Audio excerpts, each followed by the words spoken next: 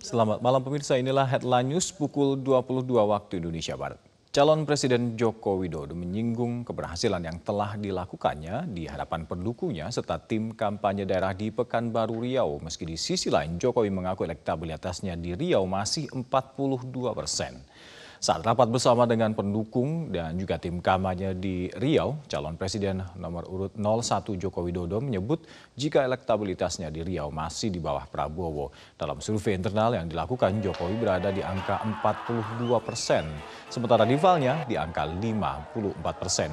Jokowi pun meminta pendukung dan untuk tidak pesimistis dan juga perlu adanya peningkatan militansi dari para pendukungnya. TKD Riau pun yakin dengan penetapan target kemenangan Jokowi Ma'ruf Amin sebesar 60 persen akan dapat diraih.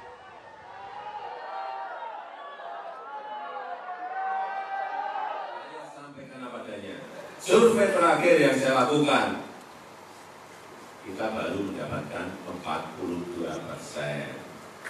42 persen yang di sana sudah mendapatkan 54 persen. Hati-hati. Tidak usah sini. Saya yakin, saya masih yakin dengan militansi yang Bapak Ibu sekalian. Pekerjaan sekarang ini Bapak Ibu sekalian, kalau hanya pasang baliho, maaf. Pasang spanduk, maaf. Sudah masyarakat itu sudah berbeda.